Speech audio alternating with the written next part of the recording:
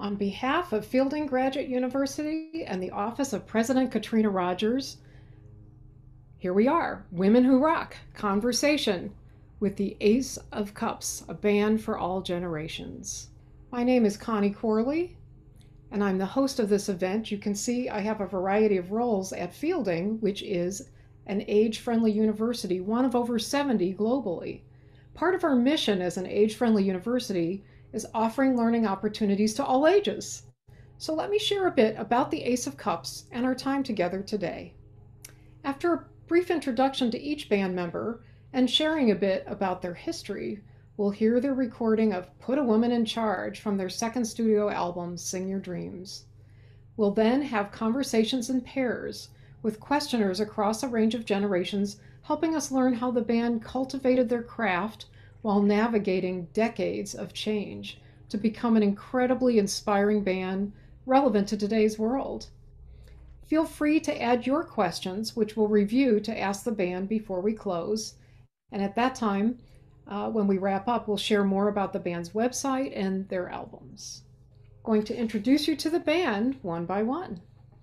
Mary Simpson Mercy hails from Northern California, Weaverville. She's a vocalist and plays guitar and is learning the ukulele. Denise Kaufman, now in Kauai, is a vocalist and plays bass guitar and harmonica. Mary Gannon Alfiler is also in Kauai today, a vocalist and guitarist. Diane Vitalich hails from Novato, California, is also a vocalist and a drummer. Dallas Kraft, also in Novato, joined the band in 2019 and is a vocalist and plays keyboard. We were very honored at Fielding to give the Ace of Cups a, an award called the Creative Longevity and Wisdom Scholar Practitioner Award for 2020. We have the ceremony and conversation with the Ace of Cups band on Fielding's YouTube channel. So, where and when did the Ace of Cups come about? They were considered the first all female rock band, and their origins date back to 1967, the Summer of Love in San Francisco. The band was named Ace of Cups by their first manager, astrologer Ambrose Hollingworth, after the Ace of Cups tarot card, showing a cup with five streams of water. The streams symbolized the five of them, and he said they should go with the flow and see where the music would take them. It took them to stages with Jimi Hendrix, the Grateful Dead, and more recently, to studios with fellow luminaries that include Buffy Sainte-Marie and Taj Mahal. The Ace of Cups released two studio albums in 2018 and 2020 and have been featured on many radio and television shows sharing their dynamic music and passion. In this picture, as you can imagine, this was back in the early days, four of the original band members plus one of the founders, Marla Hunt. The band's Bay Area roots became the home base for their studio recordings decades later. These vibrant and talented women all take turns singing lead vocals and all sing harmony and backing vocals as well. So let's hear Put a Woman in Charge from the album Sing Your Dreams.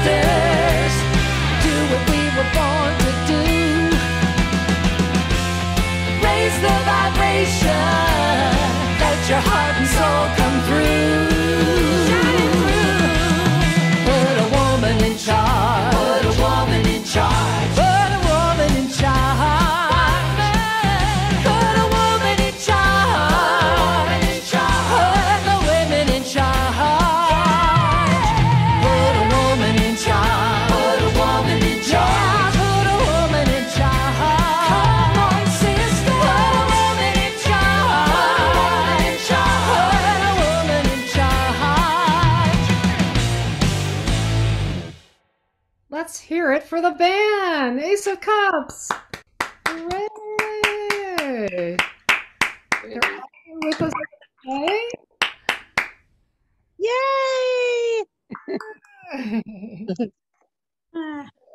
Thank you all for being with us. We are very delighted to have not only the five band members who I've shown their pictures, now you'll get to hear them live with a conversant, and we chose members of our community or affiliates of our community, ranging in age and cultural backgrounds and occupations. And our first pair is Tika England, who will be talking with Diane Vitalich. So we've got about five or so minutes per pair. And then again, any questions you might have, feel free to put them in the chat. So, uh, Tika and Diane, if you are uh, I want to make sure that you're both uh, here to be seen. Yes, there you go. And heard. yep, I think I, I got the mute. Great. okay. I'm going to introduce Tika. We've already introduced Diane briefly, but you'll hear more about her now. Tika England is a costume technician currently working as the cutter and draper in the theater and dance department at the University of Kentucky.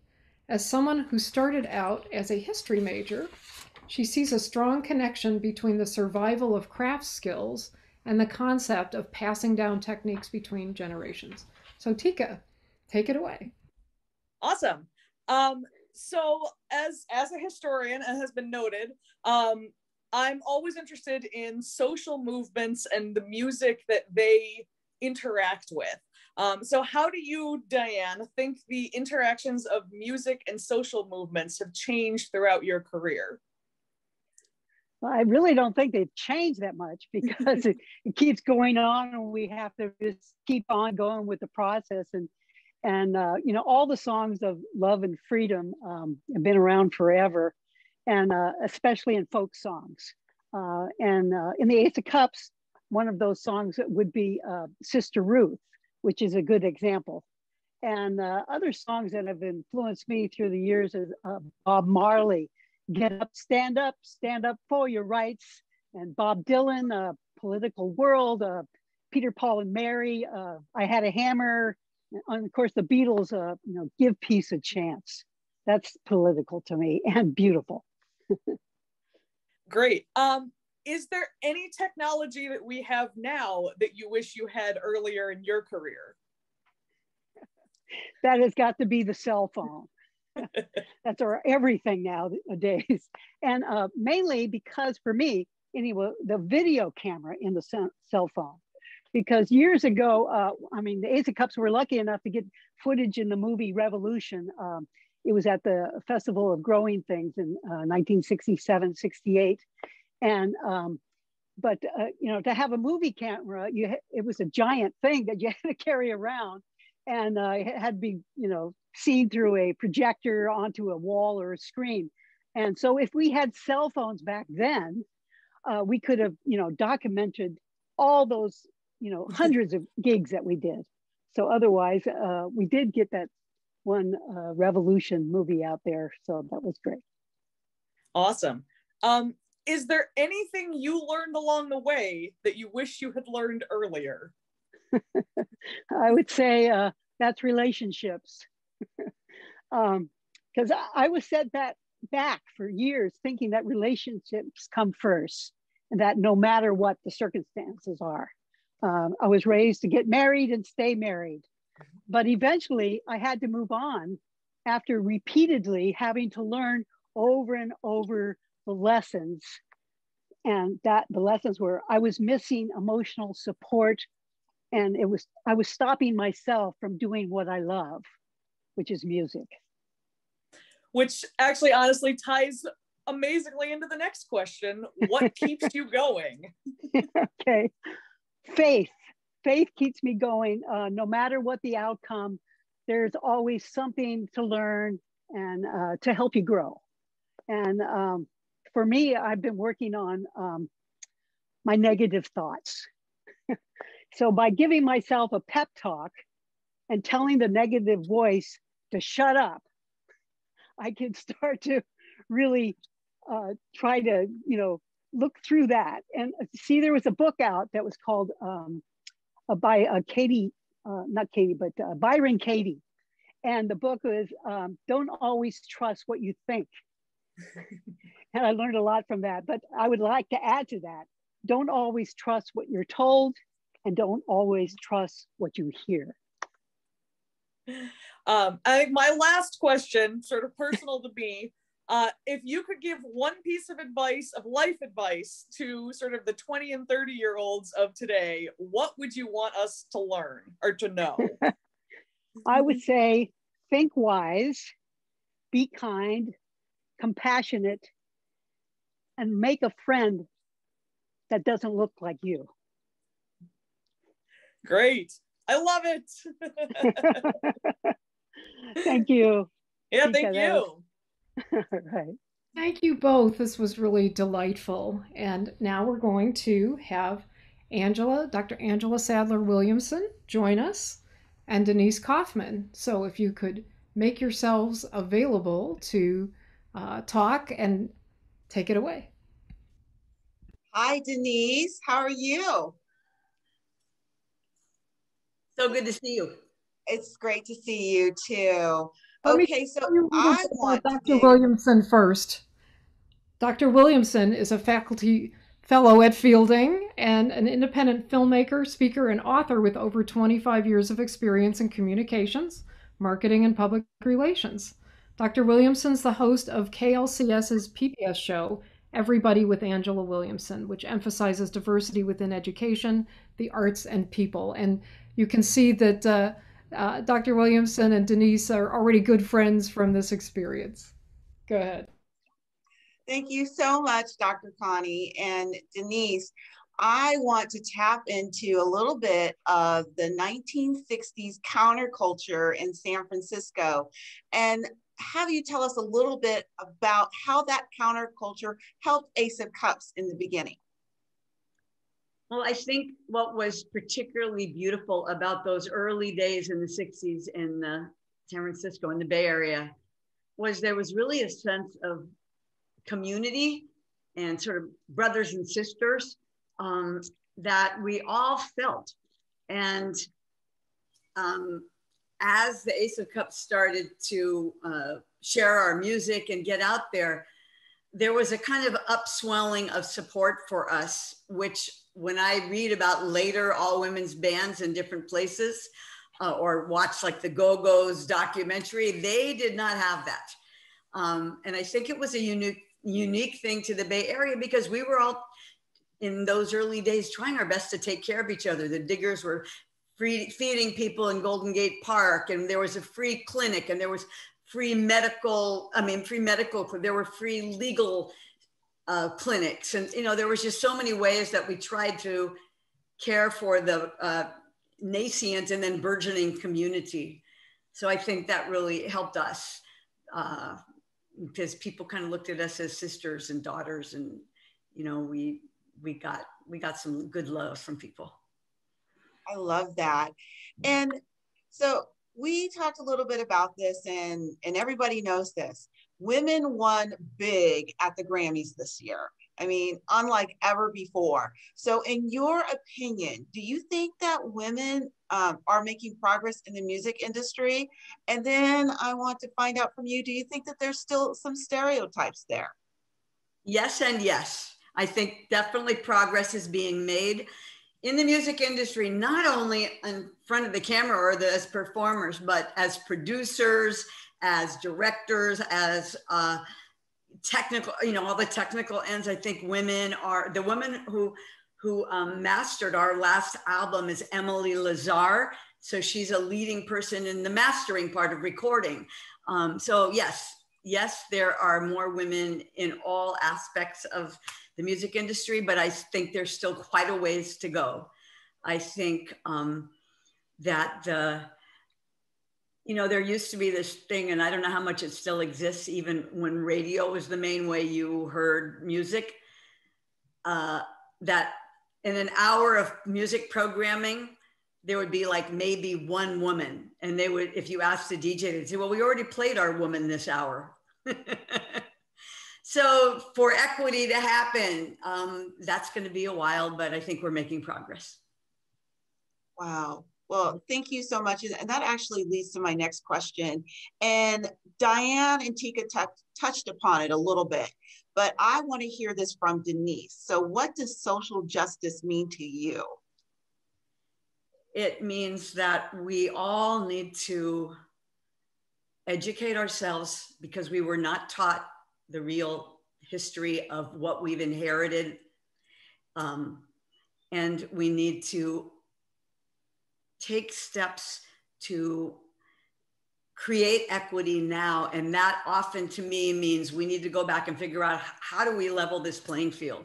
How do we bring forward the people that have been pushed down? How do we put them first? How do we shine a light on the stories that we weren't told? And and and to um, really look at the how do we remediate on every level? And I, I love what Diane said about making a friend who doesn't look like you. I think that's really important. Um, we need to broaden our circles of, of, of acquaintance, of friendship, of, of people that we we talk to. And we need to have the, the difficult conversations and be, be willing to ask the questions and be willing to re-examine everything that we were given or raised with or told and um, and get much more expansive in, in the way we hold life i and I completely agree with you about Diane's statement. It resonates. I think it resonates with you, with me, and with everybody in the audience. So, my next question really follows up with this too. What do you think is the biggest societal obstacle facing Ace of Cups in 2021? Well, I think uh, as in the 60s, we were sort of um, pioneers as being women doing what we were doing. Now we're pioneers as being women in our 70s doing what we're doing. And I think ageism is huge, both for men and for women. Um, but the sort of intersectionality, of both being women and in our 70s, um, a lot of people, you know, you know, for people to look at us playing, it kind of changes their reality. Um, and it somehow it doesn't with a lot of the men that are our age that are playing that's sort of been accepted but women are you know and sort of culturally women are often only considered of value during their like reproductive age or something like that you know so for women to be elders in the society and rocking and have juice and being being writing and singing and playing about what matters um, and uh, I think that's really important. And I think that a lot of people just kind of can hardly go there. You know, I think that um, that you know that we're kind of we're breaking ground. Not like we're the only ones, but there are very few of us that are breaking ground in terms of ageism in women. And that leads to my next question, talking about ageism in women. Um, I wanted to get your advice for Gen X women, um, such as myself, who are headed in their 50th year, or as I would like to say, I've already headed there. What advice would you give to us um, about following our passion? I, I think um, it's interesting. Um, my daughter is 50, and um, last night I went with her rollerblade. She went roller skating and and she's gotten really into roller skating, which she used to do when she was nine or 10. And then um, it's sort of come back. It's a bit of a thing now. And um, and just watching her skate around this basketball court in the town of Kapa'a last night was so beautiful. And I was like, what is it that you have loved when you were a little girl that you kind of had to put on the back burner because of life and career and children and whatever else, you know? Um, you know, now maybe there are new passions that you have and you want to totally give yourself permission to honor those, but maybe there's some things from when you were small that you, you know, someone told you, well, that that doesn't look like a house. You can't draw, or that doesn't sound right. You shouldn't be singing. You can't be in the choir, or you know, or as happened to Diane, you're, you know, you're you want to play drums. Well, girls can't play drums. You have to play the tambourine. So whenever you, if you got shut down, and I would imagine we all did, you know, that you, re, you know, resurrect those places in you and start to honor them and give them some some love and uh, and don't let anybody shut you down. Oh, Denise, thank you so much. Our last question before we end our conversation today. In your opinion, what female band best represents Ace of Cups today? You know, I actually don't know. I don't think I'm up on all the female bands, um, and it may not be bands. It may be it may be individual voices. I mean, there are a few voices I really love. You know, Brittany Howard, Anais Mitchell, um, um, the band Ranky Tick. I mean, there's so much music I love, but I would say whoever is pushing the limits those are the people who represent Ace of Cups now, those voices, those women who are stepping out in ways that um, haven't been done before, or they're pushing at the envelope. And I would like to honor them all and thank them for keeping everything rolling forward for all women. And thank you for setting and being the trailblazers with Ace of Cups for to open the door to a ton of women in the music industry. Thank, thank you. Thank you both, Angela, Denise. What a great conversation. And it keeps on rolling. So, our next pair of conversants is Anthony Lopez and Dallas Kraft. And we already got a little taste of Dallas. You're going to hear more from Dallas right now. But Anthony Lopez is a uh, member of our fielding community working in the institutional research department. He's a recent graduate of UC Santa Barbara and is a Santa Barbara local. How's it going, Dallas? Hey, Anthony. Good to see you again. Good to see you too. Um, kind of touching on the previous conversation um, about the women winning big at the Grammys. Uh, how have you seen the role of female artists kind of evolve in the music industry over the decades? Um, well, I think uh, it, there's always been some sort of a role of um, the artist to uh, shine a light on the human condition, whatever it is. But um, really, not as much as recent um, recent decades. Um, before, you know, women were in front of big bands, usually men, and uh, the most famous of them would be more. It would be all white band. Um, they'd have all black bands. They would, you know, monopolize the radio. Um, so a lot of minorities weren't being heard as much. Um, then as the you know folk movement goes it comes in then there's a more integration um, and um, female artists like joan baez and odetta and um, joni mitchell and um, you know again shining that light on uh, on uh, the human condition as it were. Um, you had way back you had um, uh, maybelle carter who was a pioneer in uh, founding modern country music, um, showing the world through her eyes and uh, the area that she lived. And um, you had Billie Holiday through Strange Fruit, you know, her beautiful um, um, figurative language describing something as ghastly and ugly as a lynching um, that she was, you know, not even allowed to to perform in most audiences because it was an embarrassment to to uh, white audiences. Um, so I, I think um, these early women were showing, you know, shining a light on it, telling the story of the whatever it was, the oppression. It, also telling a story about good times too. Um, Sister Rosetta Tharpe, fantastic musician. A lot of these women were really great musicians and at a time when women weren't playing instruments. Um, and Sister Rosetta Tharpe uh, fantastic guitar player. She's like the godmother of rock and roll mm-hmm. with her um, guitar playing and her, her, singing and writing, songwriting. But um, when you were talking about the the Grammys, I mean her, you know, H E R, um, which amazingly um, sounds it's having everything revealed, having everything revealed and and that's what she's she she does you know with um, the the song that she had i can't breathe you know for george floyd. Shining a light on that black lives matter.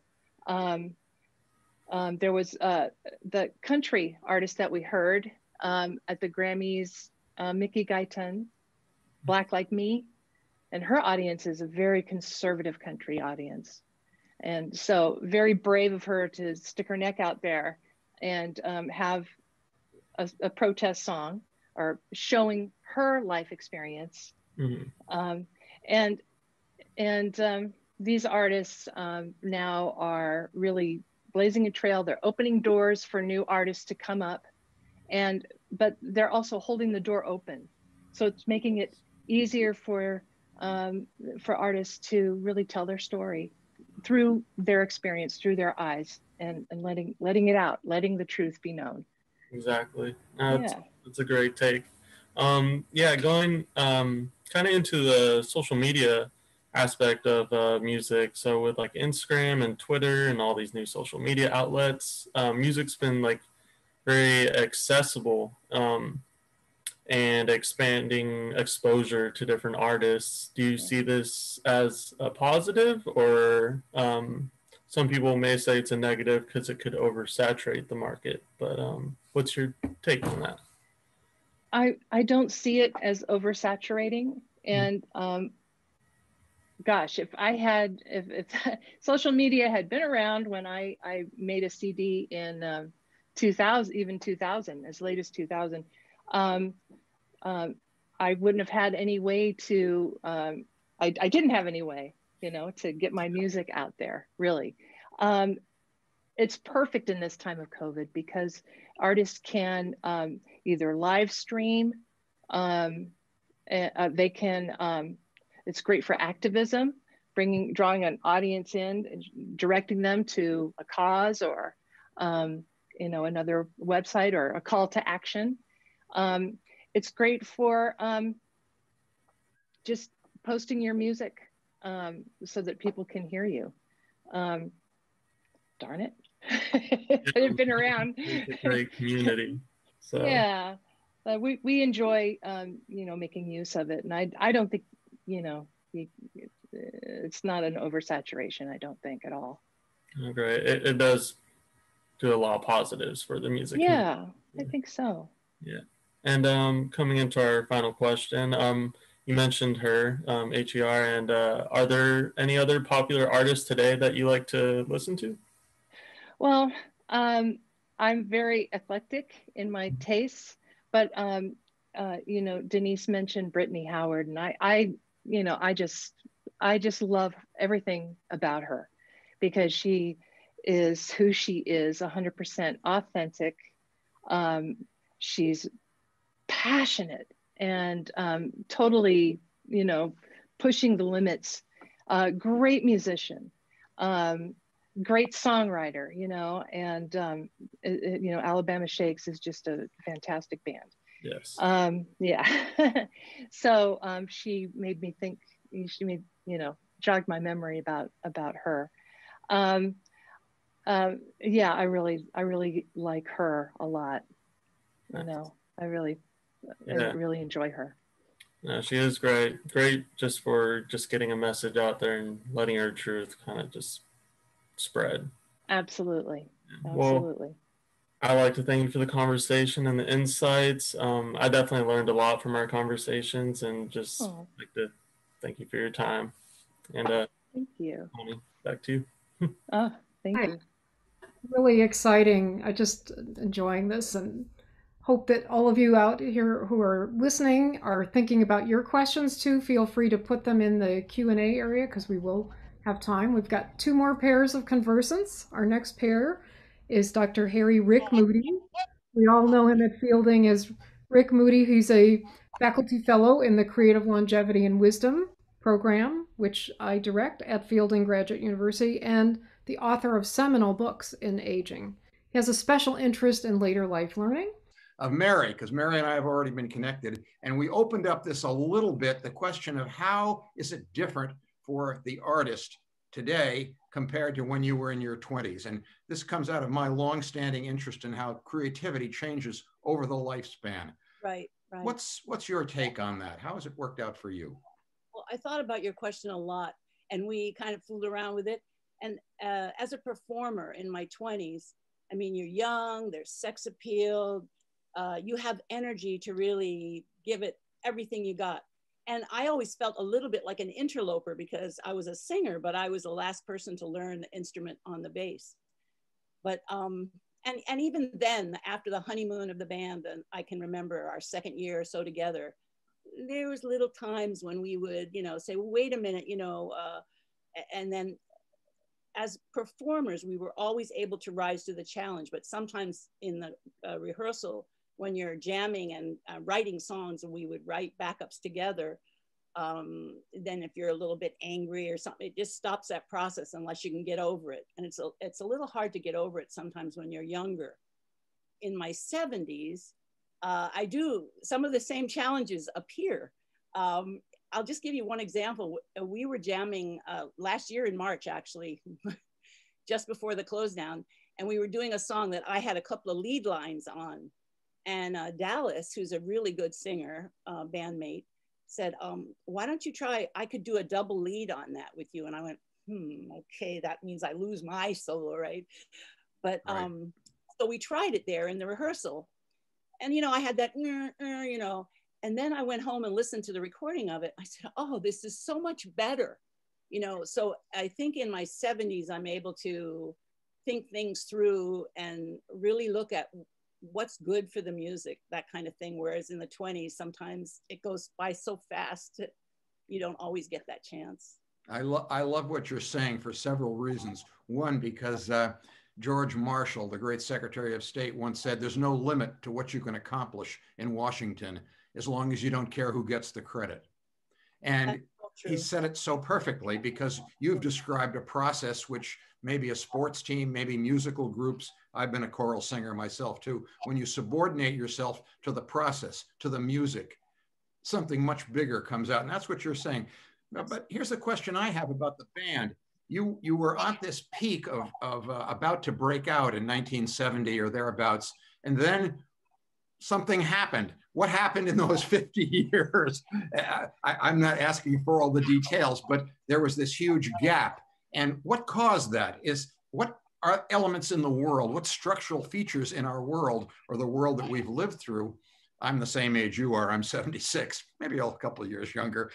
What, what was in that world and, and how did you cope with it? Well, the whole culture had been ripped open there's no doubt about it. When i was trying to think about your your questions like what happened and everyone's interest in in the Haight-Ashbury and what yep. happened well the whole thing came came open. And it's not just the hippies and the turn on tune in drop out which was very much what happened. Right. But it was also like uh, it, it the groundwork had been done by the beats by the artists, just the poetry that was the Burroughs, all of them that were in the yep. 50s were coming up. And, and then you have all these questions. And we, it was obvious to us, you know, uh, love each other, get out of right. Vietnam. Uh, yeah, you can share. I'm going to share with you.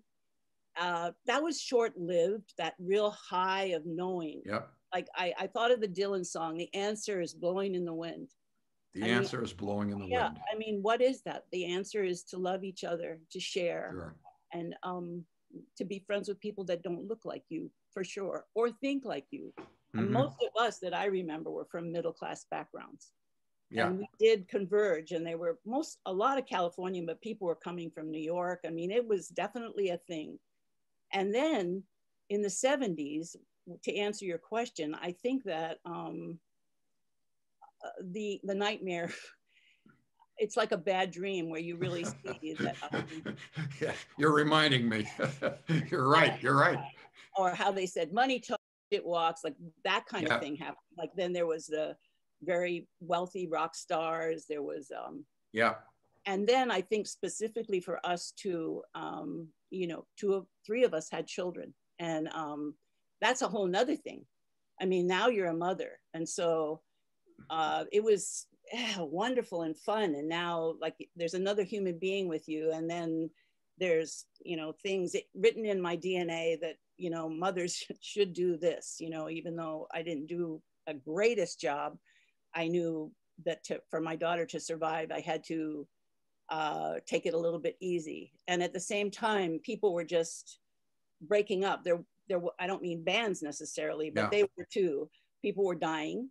I mean, that was a wake up call. Jimi and Janis uh, in the early 70s, um, and many, many more, and people that we knew. So then we knew what was this about, you know, addiction and. Um, So we encountered limits. You encountered limits uh, of different kinds, maybe a big limit like de- death and dying. Yeah. How about today? Uh, you're not young anymore. And by you, I don't just mean you, Mary, but okay. all the, I own it now. you own know- it now. the funny thing is my parents never told me who, how old they were ever and all of my friends too parents i never knew how old they were they never It was considered how- embarrassing. You don't ask people that. no because i always think people weren't didn't make it enough at what Right. they thought they should have by 70 so that Yeah. They're like you know it was like uh, all these jokes about age it's like i think in our band it's so far out i love it i'm 78 i'm Right. 76 i'm two years older than you by the I way know, I know, I know you are. I know you're my elder, so that's why I'm asking all the questions. you said something else that interested me very much because, in, along with artistic creativity, one of my other areas of interest is comparative religion. I wrote a whole book Yeah. on that, and I'm interested in a comment you made about how different members of the band came from different faith traditions and maybe it took some time to learn what that really meant and maybe the traditions themselves changed. I wonder if you, if you could talk a little bit about that. It interested me very much.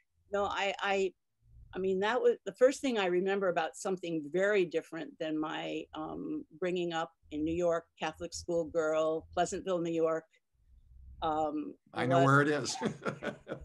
was the American Indian. Like uh, when the hippies moved out of the city into a Marin and North, um, there was Indians that showed up. People had connection with some of the tribes in above Sonoma.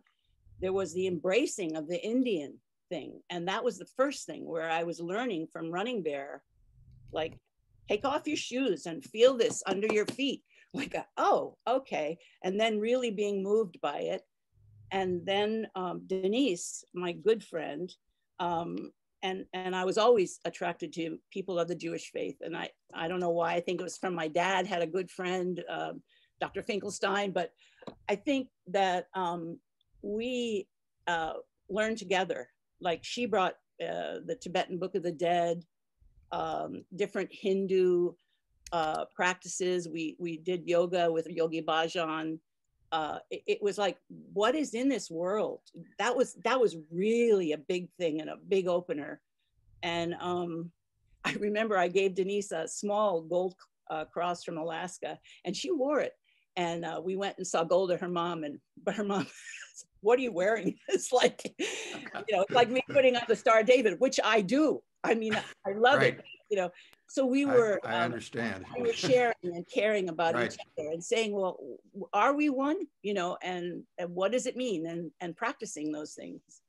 So Yeah, you were becoming you were you were be, paradoxically becoming closer but also retaining your differences. She didn't become catholic. You didn't really become jewish. And No, yet there was a connection there. I see connie corley has appeared on the screen. Do we have questions from our listeners or any other questions like that Well, those will come up, but we have our last pair, which includes myself Good.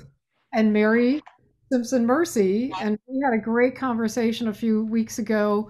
Um, I just wanted to say I've been so fortunate to be able to actually hear the Ace of Cups uh, a couple of years ago at a wonderful fundraiser in the backyard of Lily Doolin, who I think is here today. And also, we had a positive aging conference uh, that Fielding hosted in Los Angeles, and that that was a, few years even before that, and uh, that was before Dallas was part of the band, but the, the band also played there. So uh, I'm just so excited now to have this opportunity to talk to you, Mary, and um, ask you to talk a little bit about some of the early influences uh, for you musically and um, how you, you know, you've been a musician really for, for most of your life and uh, studied with Jorma Kaukonen from the Jefferson Airplane. So talk a little bit about like who were the people who influenced you the most.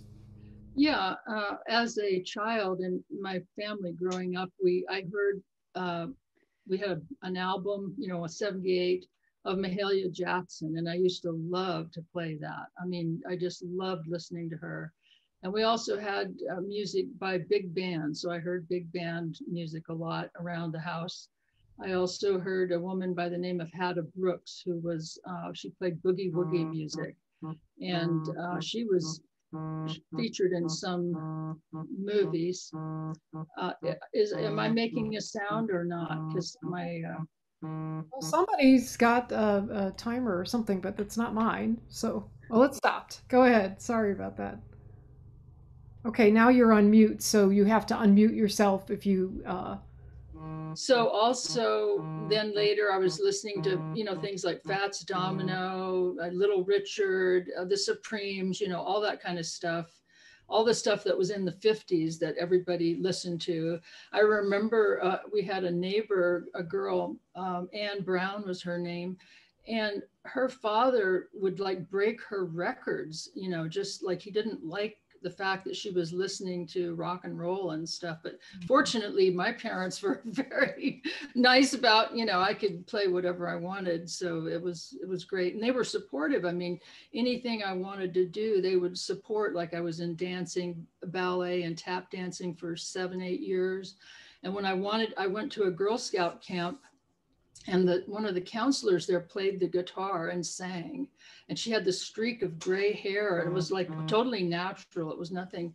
And i just was so entranced by her and i go i want to be able to do that i've got to be able to do that. So then i went home and asked my parents you know could i learn to play the guitar? And they said sure and you know got me kind of an older guitar i mean not older but not a good one and they said if you play it for a month we'll go get you a really nice guitar so I did. I mean, my fingers were hurting like hell because the strings were, you know, off the neck.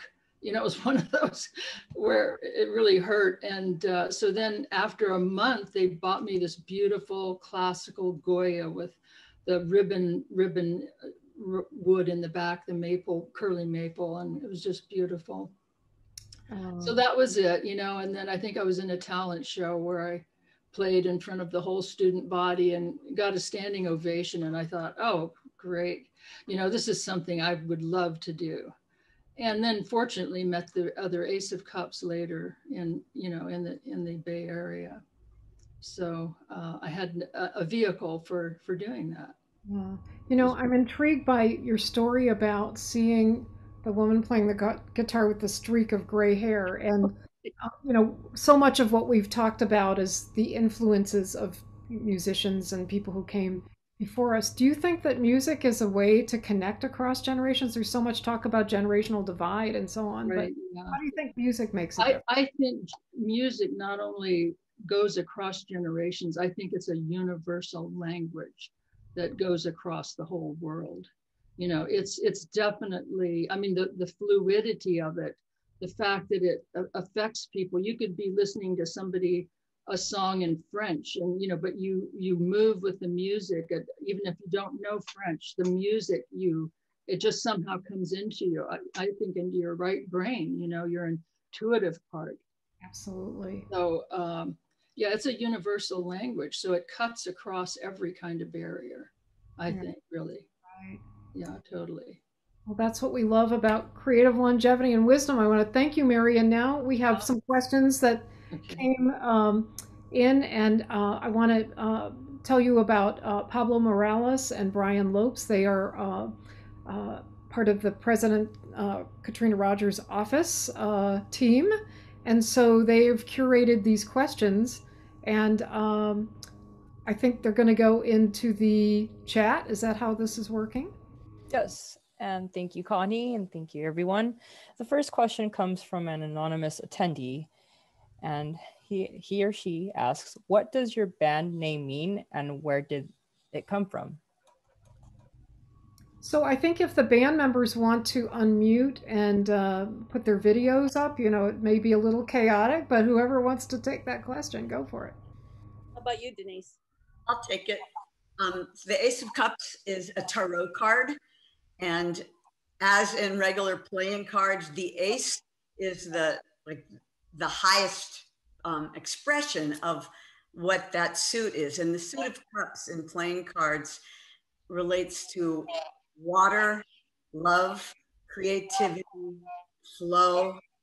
And in the, the, tarot cards that uh, our first manager showed us, he, we were around his bed in the hospital. He had had an accident and he pulled out this card of the Ace of Cups. And it was a, a card with a divine hand coming out of the clouds with this chalice and five streams of water flowing into water below and the little droplets of water flowing up. So it, it, it was this circle of love and creativity and music. And, and um, we just looked at it and said, oh, there we are. Yeah, Dallas, show us that. Show it again. Got a beautiful picture of, there it is. And when we looked at it, we just went, yeah, that's our name. So. Okay. Okay. Pablo, or is it Brian? Uh, it's Brian. Brian Pablo transitioned to Brian. Hello. Uh, we have another question here to you, who will, to whoever would like to answer. Um, question is: uh, Is it ever too late to become musical, such as learning an instrument and such? I can answer. Yeah, Absolutely not. And you know, just what I think Denise brought up about being told in elementary school no, you can't do that. Or, you know, you stand in the back and move your mouth, but don't sing. It's like those things, it's like they don't it can happen once and ruin it for a person. I think absolutely there's groups together, especially with the ukulele. The ukulele, as Mary attests to, is four strings. I, I teach ukulele, I did for many years. With one finger and strumming, you can make a song and the beat goes on, C7, and the beat goes on.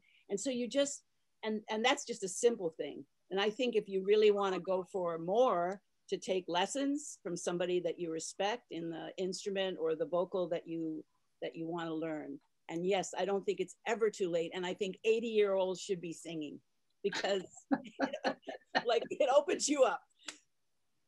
Anybody else?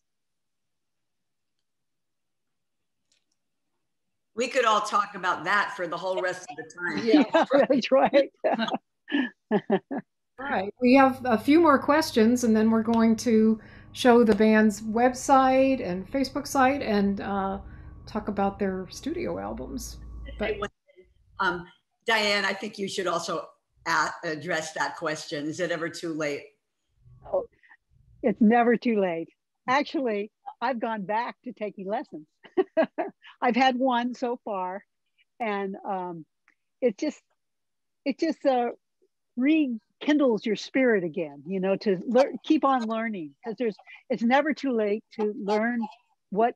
Uh, you know, even if you you're a musician that's been playing for years, you go back to learning something, and it it brightens what you do, and it just uh, it's never ending, and there's never too much to learn.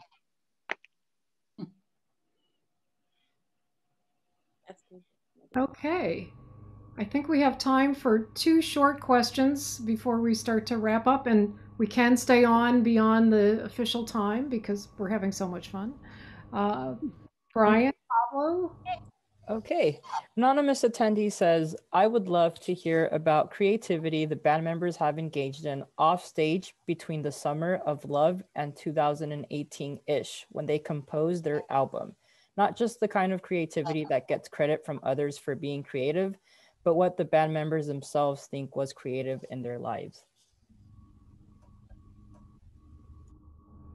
Mary Ellen, you want to? Yeah, yeah, I, I will. Um, yeah, I I just think that there the combination in the Ace of Cups is that when we're together, things start to happen in the in the realm of creativity. It's just something about the uh, dynamics and the syn- the synastry between us. You know, so we we'll we'll come up with songs like someone will bring a song in partially done like i tend to do that where i've got a verse and maybe a chorus but i, I need another verse and then denise is like she loves to you know help and you know flush stuff out and she'll ask a bunch of questions about what you want to present but anyway all of us do that you know and we'll give suggestions about this part or that part and you know we don't take offense uh, about it because it's like mary and they were talking earlier about you know it's the bigger picture you want it to be good so you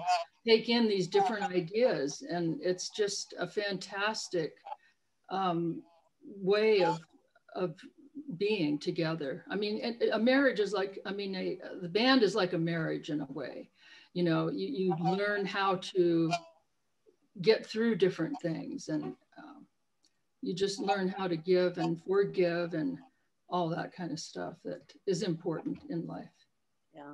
I, I will i'd like to say something about the creativity intervening years because um, mary mary ellen is a beautiful painter she's she, she a picture in my kitchen here uh, that she, she did so she got really into painting um, and um, you know, I, I, think all of us have other expressions. And I think for those of us who raise children, there's a lot of creativity in, in that process, right? Know, you know um, just trying to especially be to parent in a way that wasn't passing on some of the um, the notions that we were given that we didn't feel like we wanted to pass on to the next generation. So we were really, you know, working on you know, how do we empower the next generation? And I think, you know, in everything from gardening and cooking and I, I started school here in Kauai, but then there was like yoga and all the kind of different things that we've done. And, it, and to me, it's really creativity is the spirit that you can bring to anything you're doing, right? And and and you can be doing what looks like a really creative thing not creatively. so I think sort of like really inviting that openness into our, ourselves and then approaching, I don't care if it's cleaning the house, you know? Um, Um, and I, and I, would say that if you're cleaning the house, you should put on the best rock and music that you can. So while you're doing I would totally agree with that. That's the only way I can get any housework done. So uh, let's take a, a, pause for a moment so that we can share uh, a bit about the band's website so you know how to go to that and uh, where you can hear their music. And then we can stay on because we have over time you all have here. So uh, this is the Ace of Cups website, which is rich with like so many interviews that they've done. And this is their Facebook site is on the next uh, slide here, just a, what it looks like when you're looking at it on your on your phone. And they have two studio albums. They did record prior to 2018, but their Ace of Cups self-titled album, a double uh, album with incredible music and guest artists, and then more recently, Sing Your Dream, which is their second studio album. You can see there are many ways to be able to enjoy uh, the Ace of Cups.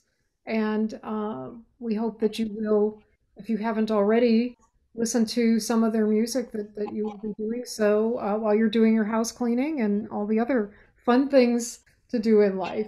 So before we go to um, any other questions, I did want to give uh, my deep gratitude to the band members, to Rachel Ann, who is the the unmanager uh, behind the scenes, doing a lot to help uh, the band uh, keep going, especially in the you know challenging times that all of us has been through. And this is why I think music is most important.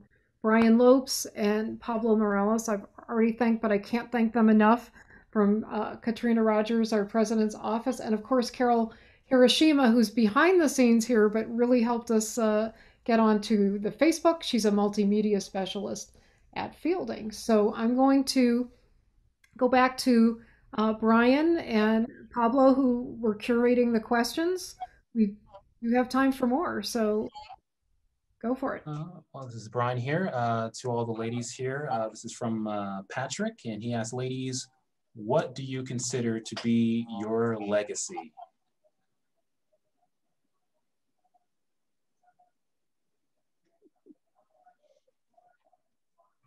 That's a hard one. yeah. and you have to say you have a legacy. go ahead, Denise. I, I think I, that I have a Yeah, go- you see. Oh, legacy. Okay. Very funny, Diane. I would say that because we because we had never heard an all women band when we started, you know, we were the first ones we ever heard.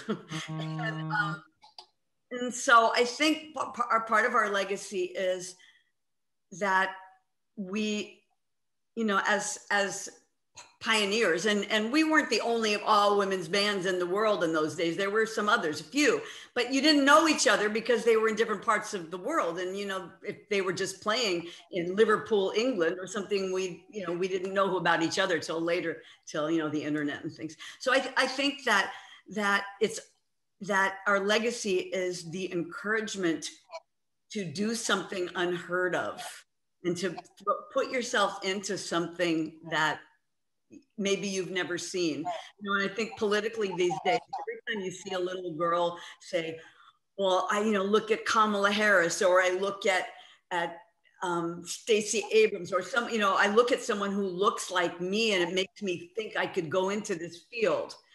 You know, I think, and we've had for all of our lives, Ace of Cups, w- young people come up to us, particularly young women, or by the time we met them, older women, and say, you know, my mom took me to see you in Golden Gate Park when I was nine years old. And I said, Mom, I have to play the drums, you know, and because that little girl saw Diane, you know, or, or play the guitar. So I think, you know, our legacy is being amongst those early people that did that just the way the the women astronauts or the women physicists or whoever you are when you're breaking into something that was a, a closed old boys club that you know we're part of the legacy of opening that all up. And you know it's not just for women because it's for men and boys to see that women can do this you know and like you know that's really important. Anybody I think sometimes that's a tough question, legacy, because it's not one I believe in our Western culture that we really honor. And yet it's important. We didn't have the legacy of the people who came before us and then creating our own legacy.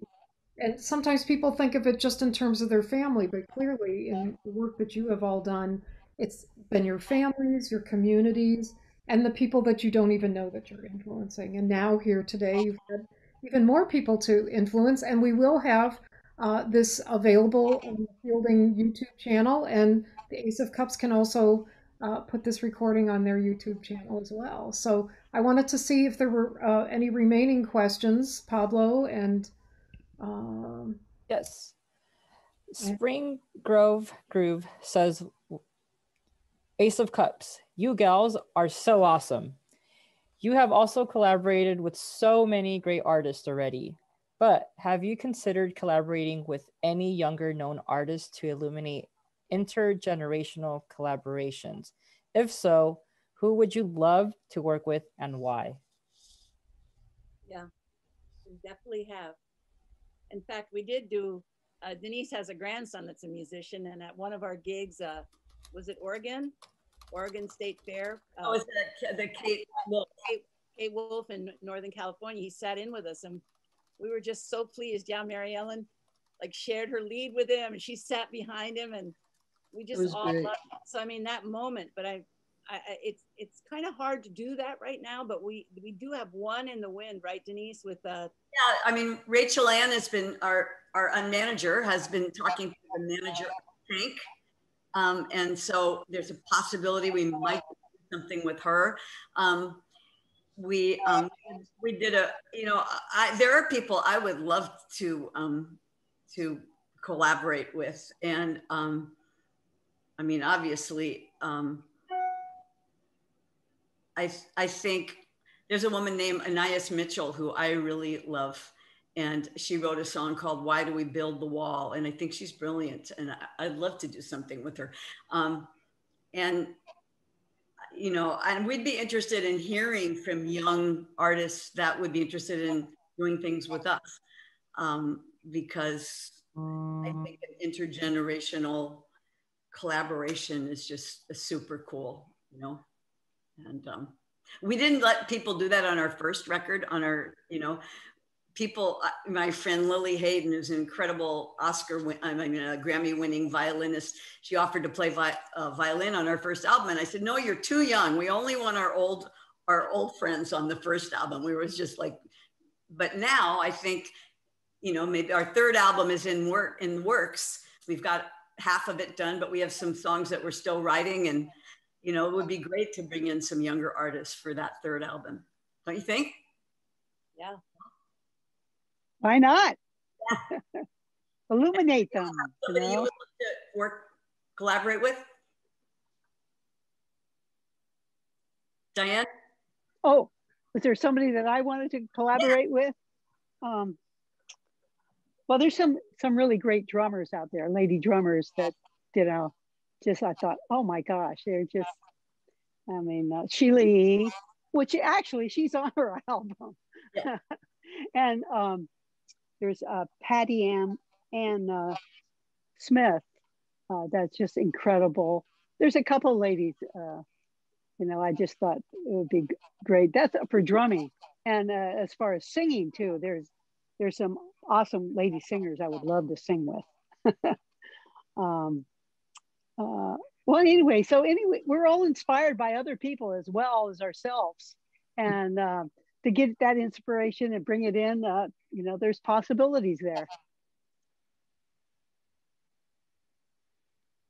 Great. I wanted to see, I, I can't remember, I lost track of how many questions there were that uh, remained, but I wanted to also see if any of our conversants who had wonderful one-on-one experiences had any questions for other band members. So um, Angela said she's fine, uh, but you know, Rick, Anthony, Tika, this is your chance to ask uh, in the in the present moment, and of course, these relationships now can be cultivated going forward.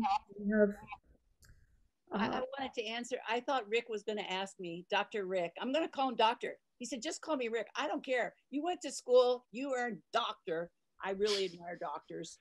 So, you know, he said, what about, uh, what's my, met? what would be my advice to the young? And I, and I thought, you know, and I thought about it when we're young, it's so much easier to love and to let things go by, you know, um, as we age, sometimes it's more like, you know, what you did, you hurt me, you took, you take your grown up toys and go home and lock the door. and, and, um, I just think forgiveness is fierce. It's a fierce battle. And that's what we're involved in now and um, I would I would tell the young, you know, if, if you don't if your mom and dad uh, aren't there to guide you because of the many broken families, please find an elder, somebody like us, an elder or a grandma, or boys and girls club, someone that will show you that kindness works in the world. Mm-hmm. And don't, don't be so shattered. So, you know, I love the young. We love the young. Dalai Lama put it best when he said, be kind whenever possible. It is always possible. ah. that is good. That's wonderful. Now we're in uh, in overtime. I have a question. Uh, what is going on next for the Ace of Cups? Are you, are you all working on a, a third album? Is there some events going on? And can you can you give us a little sneak peek of what's going on for you all? Okay. Um, yes, the third album is about, I think maybe half done. We would have been doing it this last year, or at least early 2021, except of cope for COVID. Um, and we would have been touring because we, we, had to cancel the gigs that we had, you know, uh, this last year. Um, so all the places that we are hoping to play or we're going to play, none of them have um, I mean, we don't, none of those are, well, except for one place that with the Fur Peace Ranch where we really want to go in, um, which is Jorma Kaukonen and Vanessa, his wife's amazing venue in Ohio. Um, they they postponed our show there for a year. We don't know whether we'll be able to make it this year or not, or at least if in June when they would hope to schedule it. But you know, I think all venues are going to be finding their way now into how to operate. Um, the thing for us that's a little difficult is that we are in, you know, Mary, Mary Alfiler and I are in Hawaii. Um, Diane and, and Dallas are in Marin County, and Mary Ellen is up in Weaverville. So, and we're not, other than I will say Dallas, the rest of us aren't so technically great to be able to um, to do you know if, if, some of the bands that are separated they they they the members have their own home studios and they've been recording themselves for a long time. So putting things together is a little bit easier if you've got your own home studio. And you know we don't except for dallas and diane to some degree. Um, so we're working on some things that we're putting together, but it's a little bit slower because we we just need some help on it. But we are working on some things to release from a distance, and we're looking forward to when we can all be in the same place. Um, at this point, some of us are vaccinated, and I'm feeling much more positive about traveling in a couple of months. You know, and um, and so I, I think that I think it's not in such a distant future that I could pull out a bass and stand next to Diane and she's playing the drums and be in our yes. Studio. And I, I not a whole whole bunch. I miss I miss playing with you. you. I see Rachel Ann has her hand up. Rachel Ann, you want to come on and Hi everyone, how are you? Hi, Rachel. My camera's not working. Um, speaking of the Dalai Lama, Denise, I was reminded of the event coming up with Buffy. I thought since she fits into so many of the inspiring things that we're talking about, what a lovely little quick. So I just thought I'd pop in and um, let everyone know that um, Buffy Sainte-Marie, another incredible pioneering woman, very influential to Denise and the ladies. She's a longtime friend. She's a guest on our album and she has her own incredible legacy. Speaking of the word legacy, here's a perfect example. But on April 12th uh, in the UK and April 11th in North America, she's doing a virtual meeting with the Dalai Lama as part of an event called One Better World Collective. So if you visit their Facebook page, one or their website, onebetterworld.org, Buffy is you know, an incredible woman to celebrate, very important to the Ace of Cups and their members. So I just thought, you know, because I like the details, you know that. I was like, ooh, Buffy, Dalai Lama connection. And Rachel, we're going to put that up uh, in the next few days on our Facebook page too. We'll have all the details of the event. Great. And I love you ladies, by the way. I don't want to get all gushy, but I couldn't love people that I'm not, you know, I, I couldn't love you anymore. So it's great to hear you and learn about you every day. Okay. okay. Thank you, Rachel Ann, for sharing that information and also sharing the love. And I think we've covered so much, and we could probably talk for another hour, but we're going to let people go on with uh, what's next for them. And we, again, are so grateful to have this opportunity to uh, wrap up uh, the Women's History Month for 2021. And back in 2020, we had Ace of Cups with the Creative Longevity and Wisdom Award. And let's just imagine that we will all be together. I can't wait to see you all yeah. live and in person again. Uh, so grateful to those who came on and posed their questions and uh, listened to what we had to say. Our conversants, again, uh, our team with fielding. So grateful to everyone. Have a wonderful rest of your day and life. Great. Thank you. Thank you oh, man. so much.